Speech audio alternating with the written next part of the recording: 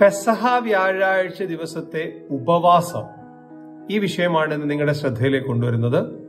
അപ്പൊ ഞാൻ റിഞ്ചു അച്ഛൻ ക്രിസ്ത്യൻ വിസ്ഡം എന്ന എന്റെ യൂട്യൂബ് ചാനലിലേക്ക് എല്ലാ പ്രിയപ്പെട്ടവർക്കും സ്വാഗതം.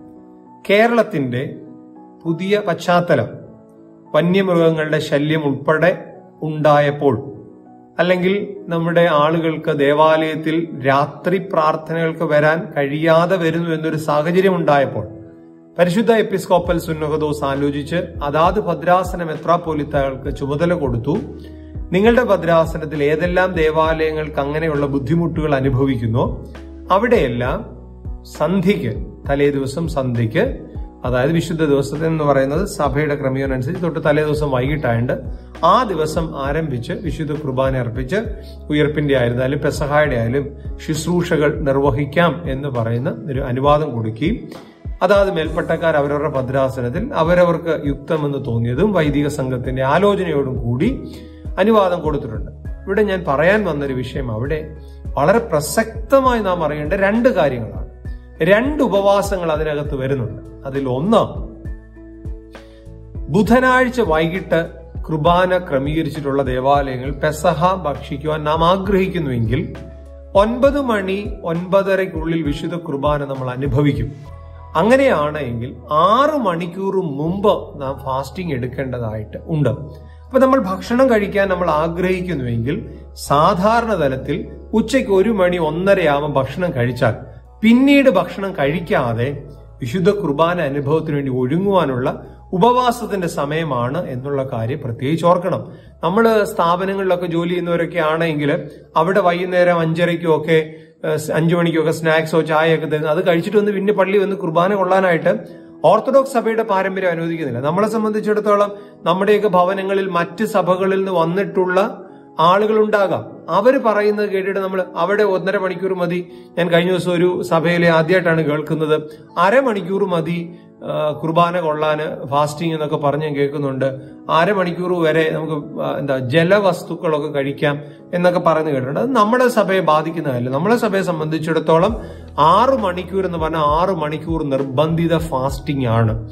ഇത് ഓർത്തെടുക്കാൻ കഴിയണം. ഒന്ന് രണ്ടാമത്തെ കാര്യം എന്ന് പറയുന്നത് നൊയമ്പ് നൊയമ്പിൽ നമുക്കറിയാം എല്ലാ ദിവസവും തിങ്കൾ മുതൽ വെള്ളി വരെ നമുക്ക് ഫാസ്റ്റിങ്ങിന്റെ ദിവസമാണ് പകൽ ഉച്ചവരെ അങ്ങനെയാണെങ്കിൽ വ്യാഴാഴ്ച ദിവസം രാവിലെ തലേ ദിവസം വൈകിട്ട് വിശുദ്ധ കുർബാന കഴിഞ്ഞു.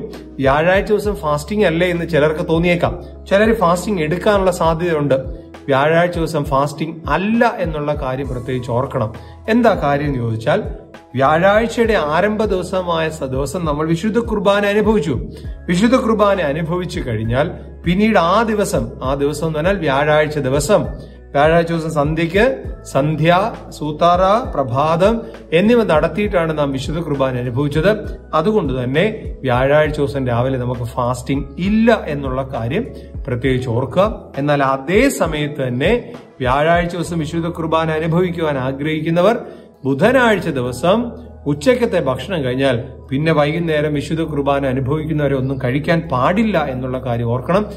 ഇത് ഇതുപോലെ ബാധകമാണ് ദുഃഖശനിയാഴ്ച ദുഃഖശനിയാഴ്ച ദേവാലയത്തിലെ വിശുദ്ധ കുർബാന അനുഭവിച്ചിട്ട് പിന്നെ നമ്മൾ ഭക്ഷണം കഴിക്കുന്നു. അതിനുശേഷം വൈകിട്ട് അഞ്ച് ആറു മണിക്ക് പള്ളിയിൽ ഉയർപ്പിന്റെ ശുശ്രൂഷയുമായി ബന്ധപ്പെട്ട നമസ്കാരങ്ങളും തുടർന്ന് വിശുദ്ധ കുർബാന ഉള്ളതുകൊണ്ട് വിശുദ്ധ കുർബാന അനുഭവിക്കാൻ ആഗ്രഹിക്കുന്നുവെങ്കിൽ പിന്നീട് ഭക്ഷണം കഴിക്കുക അവിടെയും ആറ് മണിക്കൂർ നേരത്തെ ഫാസ്റ്റിംഗ് ഉണ്ട് എന്നുള്ള കാര്യം പ്രത്യേകിച്ച് ഓർത്തെടുക്കാൻ കഴിയട്ടെ. ഈ വളരെ അടിയന്തരമായ ഒരു മൂന്ന് വിഷയങ്ങളാണ് നിങ്ങളുടെ ശ്രദ്ധയിലേക്ക്. ഒരുപക്ഷെ ഒരു സ്റ്റുഡിയോയുടെ പശ്ചാത്തലമില്ലാതെ നമ്മുടെ കാലാവസ്ഥയുടെ വിയർപ്പ് അനുഭവിച്ചുകൊണ്ട് തന്നെ വീഡിയോ റെക്കോർഡ് ചെയ്തിടുന്നത് പങ്കുവച്ചു കൊടുക്കാനിടയാകട്ടെ നമുക്ക് വലുതാണ് സഭയുടെ വിശ്വാസവും പാരമ്പര്യവും. നമ്മൾ കാത്തു സൂക്ഷിച്ചില്ലെങ്കിൽ പിന്നെ ആര് കാത്തു സൂക്ഷിക്കും? വേറൊരാൾ കാത്തു സൂക്ഷിക്കുന്നില്ല എന്ന് പറഞ്ഞ് നമ്മൾ അതിനെക്കുറിച്ച് വിഷമിക്കേണ്ട ആവശ്യമില്ല. നമുക്ക് കാത്തു സൂക്ഷിക്കാം. എന്നാലാകും ഇത് ഞാനിത് പങ്കുവയ്ക്കാൻ ആഗ്രഹിക്കുന്നു. എല്ലാ വൈദികരും ഒക്കെ ഇതൊന്ന് പങ്കുവച്ചിരുന്നെങ്കിൽ എത്രയോ നല്ലതായിരുന്നു ഞാൻ ആലോചിക്കാറുണ്ട്. പക്ഷെ അത് അവരുടെ വ്യക്തിഗതമായ കാര്യം. എന്നെ കേൾക്കുന്ന പ്രിയപ്പെട്ടവരായി നിങ്ങൾക്ക് ഇത് പങ്കുവച്ചു കൊടുക്കാൻ ഇടയാകട്ടെ. ദൈവം അനുഗ്രഹിക്കട്ടെ. മറ്റു വിഷയമായിട്ട് വീണ്ടും കാണാം.